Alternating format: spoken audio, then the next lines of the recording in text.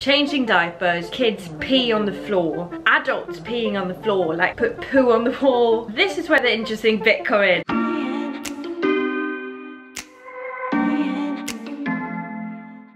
Hello beautiful people, welcome back to my YouTube channel.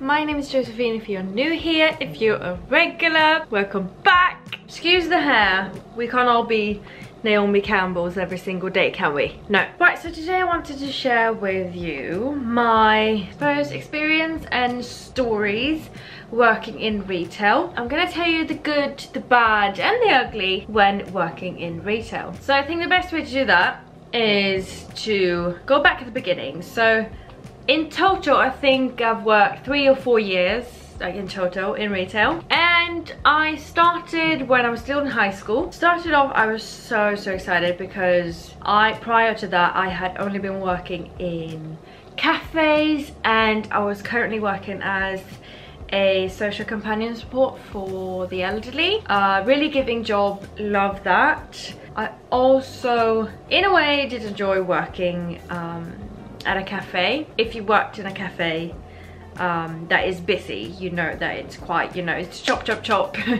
No taking breaks. It's just non-stop work. So that's quite hard work. So I was quite excited to really get to work with customers for real like actually help them. You know in a coffee shop it's more like you know they know what they want. Um, at the most exciting moment it would be like what cake should I have? And it would be oh yeah I love the carrot cake. Yeah have, that's fine I'll have that However, in a clothing shop, which I was so, so excited to start, um, it would be more like, does this fit you? And you would kind of have a conversation with the customer. So I was really excited about, about that. Um, and I started off and um, there was some different, obviously you've, like in our team, it was a brand new store opening. Um, so you had a few people that you liked and a few colleagues that you didn't like but you know it obviously is a workplace so I was never too bothered by that. But then a few people were let off and then new people came in and um, people were resigning and and uh, changing into new jobs. Um, so I suppose like a few months in um, I think the mood in the whole team sort of changed. Um, so that obviously affected me. But with the job like as in retail I still enjoyed it. I still liked it. I wouldn't say that I had horrible customers. I wouldn't say that I had I mean obviously of course there's like one that you know stinches out. But since I was just uh, a like sales associate I would never have to take like the really really angry customers because that those would always go to my boss those would always go to my like the assistant store manager.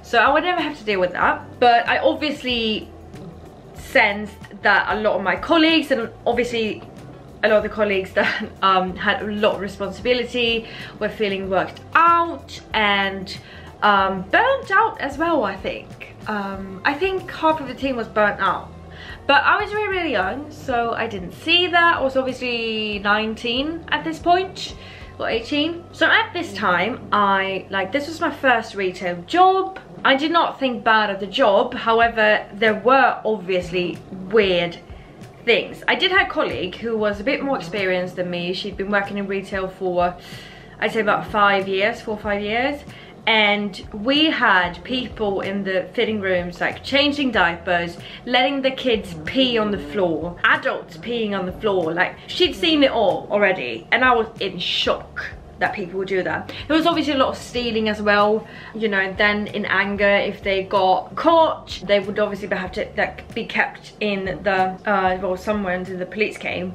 Um, they would like put poo on the wall um, in their like staff bathroom, like just crazy stories like that. Um, but that didn't put me off from the job because I didn't see that as a part of my job. And then the team changed like too much.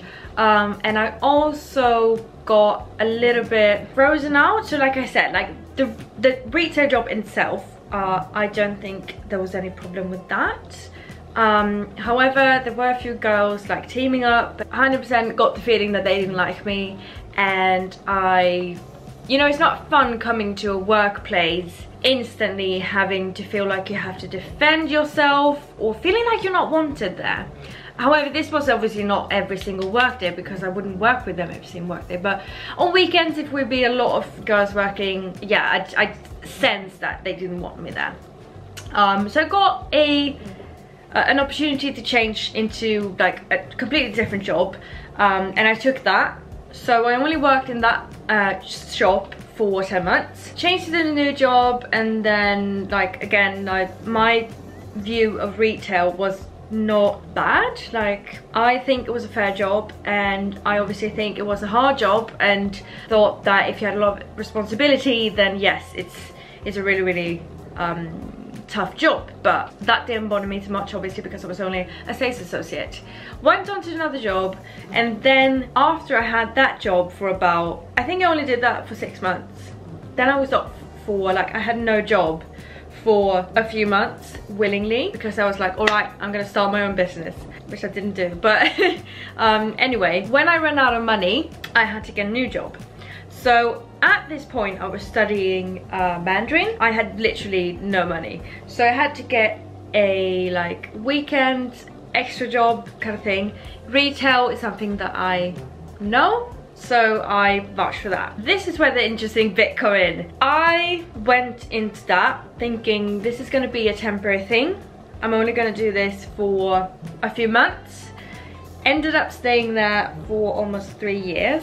This is a really, really low budget, basically like Primark, but here in Sweden. You can imagine how the customers are. I have gotten like the worst, my worst experience in retail is from that shop, but I'm also the most grateful for that job because it obviously made me into who I am today. So I started working that job. I worked there for about three years. I started working as an extra, like just doing weekends and whenever I had time. And then I advanced into eventually being the assistant store manager. How did that happen? Like, I'm like Chandler, you know? When he works there for five years and they want to promote him because they think he's the best at his job. And he's like, this was only supposed to be a temporary thing, so I quit. Yeah, that's basically me. Um, so I went into being an assistant store manager and before that I had like the most horrible stories, a few experiences that I suppose um, thickened my skin a little bit but trust me I didn't I have I had not seen it all. There was so much more to be seen. Everything from from people lying and being like really angry and upset because they can't return um, a permittance that they've written their children's names in. Um, trying to state that they bought them like that until like people peeing and also again changing diapers in the fitting rooms and shouting like go to hell I hope you die and you're the most worst blah blah blah blah blah you know all of that. So that's what I got to experience in that shop. I think that people work in retail for a few months and they're like I can't do it. Um I understand that. It is really difficult. Like you're basically like you know retail therapy. You are their therapist but you can't say anything back. You can't help them understand why they are calling you a useless like they don't know that they are taking out their anger issues at you. Um, and you can't say you can't tell them. You can't be like oh how's the missus? or like sorry are you newly divorced? Money a little bit tight eh?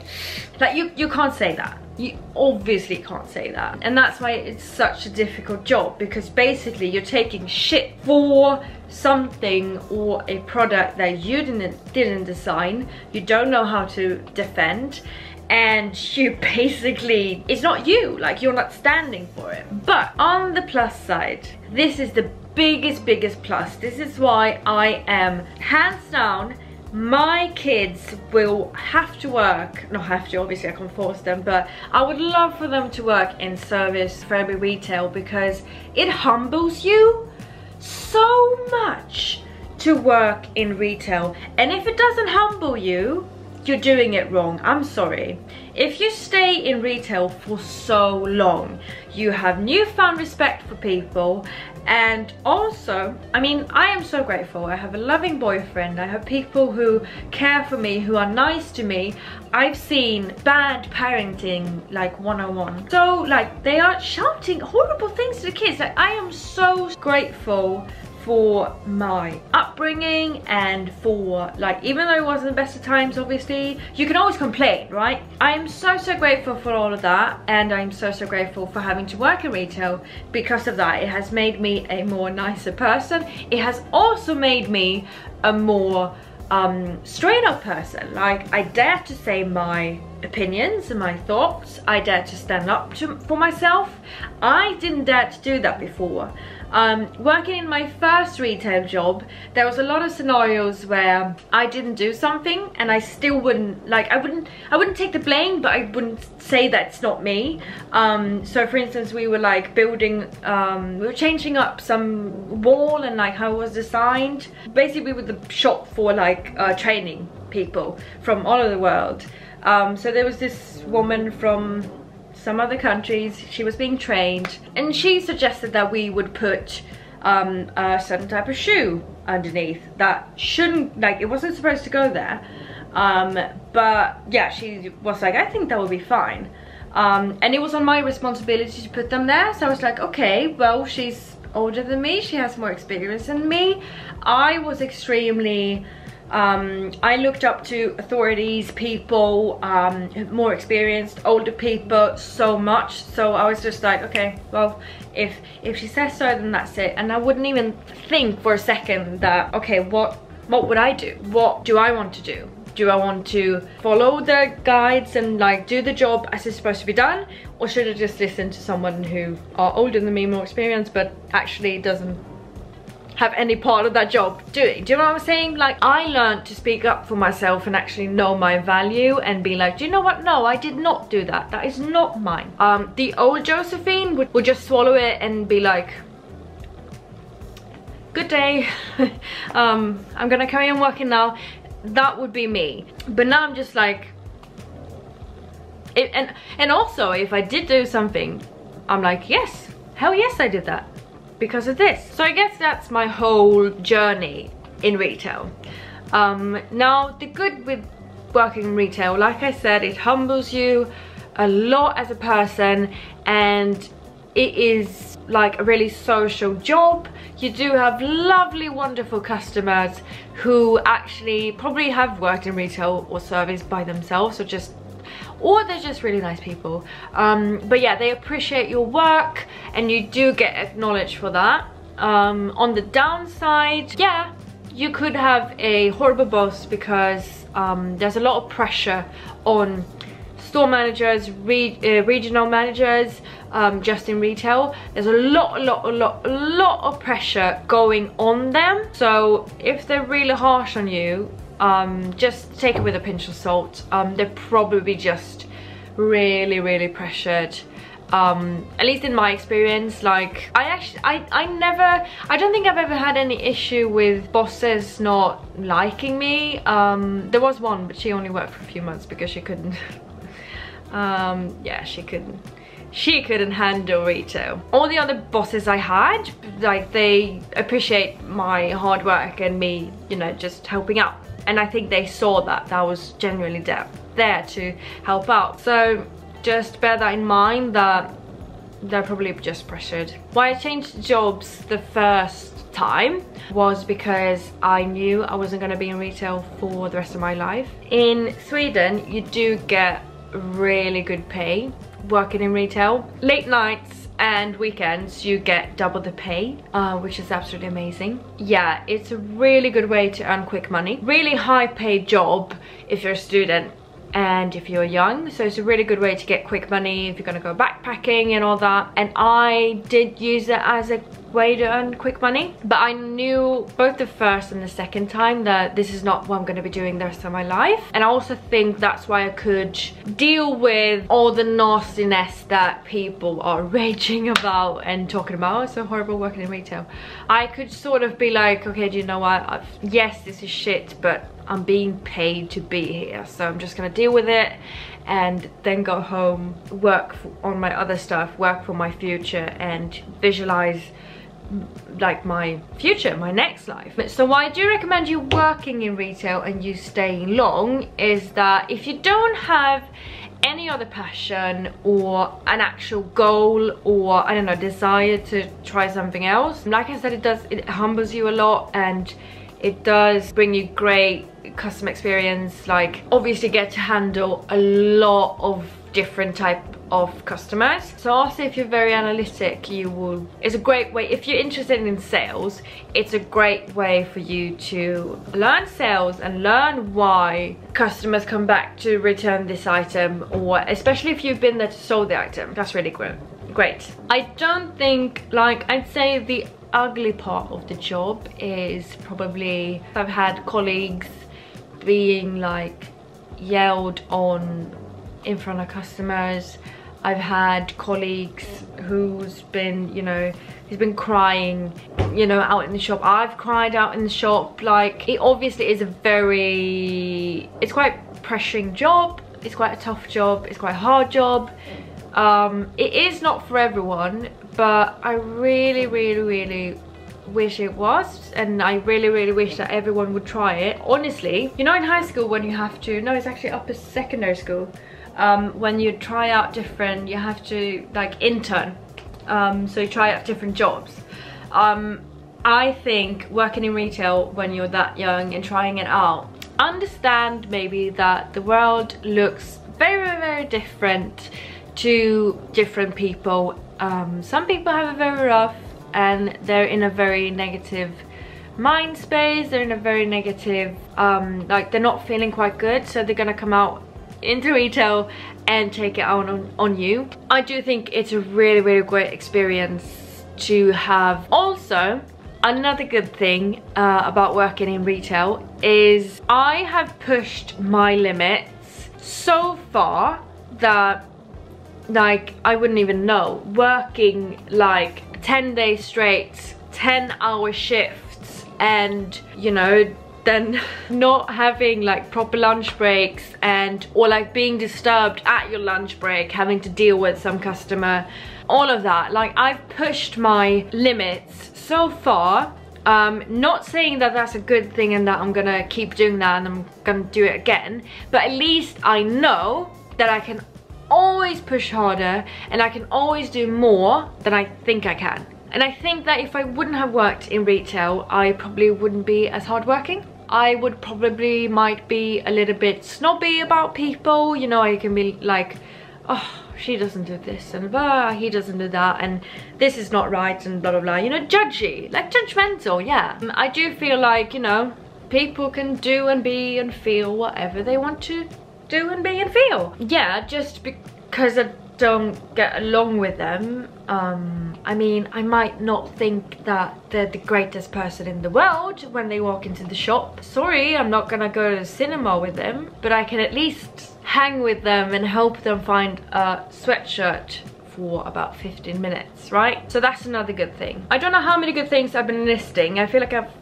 I turned this into a positive video somehow. That's typical.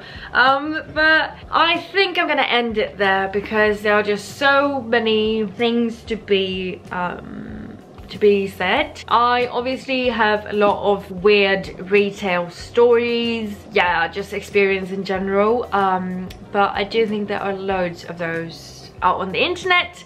So i'm just here to bring a positive note on it and um, yeah just basically tell you that there are shitty jobs out there. That doesn't mean you can't gain from them and um, that is all in all a shitty job. I just think that it can teach you something and um, yeah i think you should be grateful for that so that was it for my video today. I'm telling you the good, the bad, the ugly about working in retail. Please make sure you give it a thumbs up if you like this shark tail of mine. Doesn't it look like a shark tail a little bit? Yeah, I think it does.